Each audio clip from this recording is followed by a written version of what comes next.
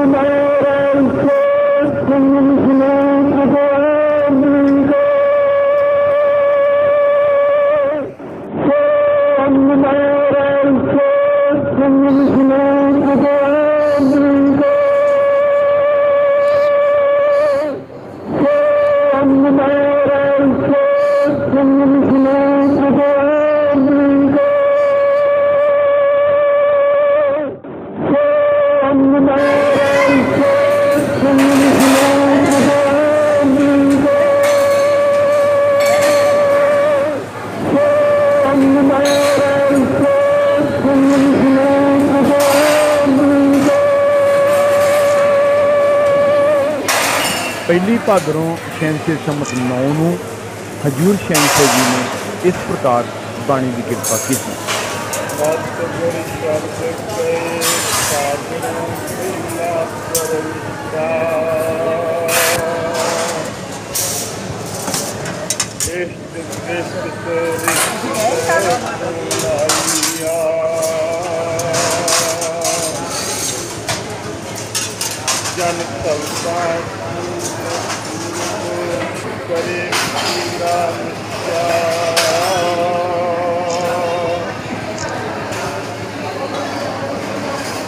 Mantan Rabbiya Rabbiya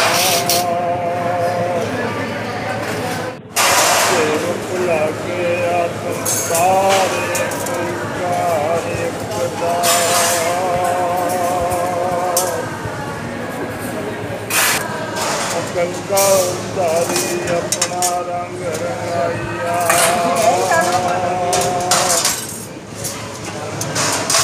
ਵੇਦ ਵਿਦਾ ਕੇ ਨਿਰਗੁਣ ਤਾਰ ਰੂਪ ਅਗਮ ਨਾਨਕ ਦਾ।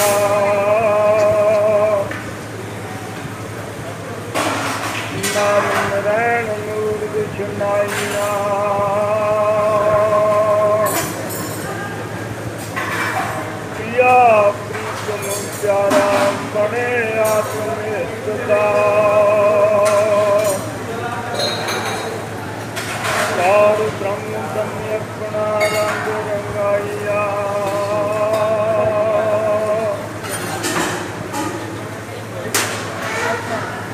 ਜਗ ਨੇਤਰ ਮੈਂ ਤੁਦੇ ਨਾਮ ਵਿਸਦਾ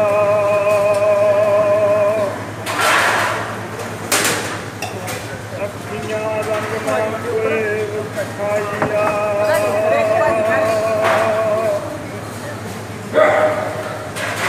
ਜੋਤੀ ਜੋਤ ਰੂਪ ਪਿਆਰ ਆਪ ਹਾਂ, ਵੀਰ ਜੀ ਕਹਿੰਦੇ ਸੀ ਉਹ ਕਹਿੰਦੀ ਮੇਰੀ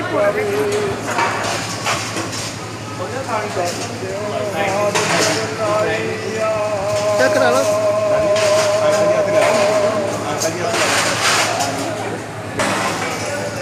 ਪਾਦਰੋਂ ਗਏ ਮੇਰਾ ਪਹਿਲਾ ਦਿਵਸ ਦਿਹਾੜਾ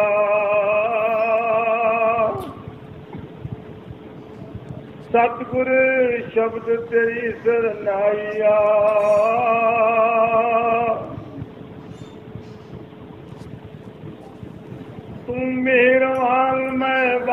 ਬਾਲ ਵੀ ਦੋ ਅਗੰਮੀ ਲਾੜਾ।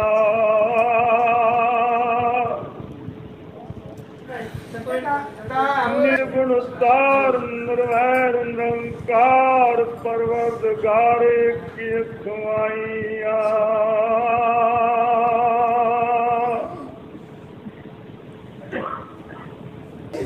ਮੈਂ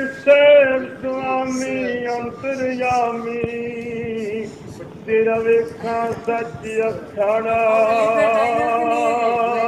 ਮੈਂ ਦੀ ਗੱਲ ਹੋਣਾ ਕੰਨ ਪੁਰਖ ਬਨਾਸੀ ਧਿਆਨ ਲਗਾਈਆ।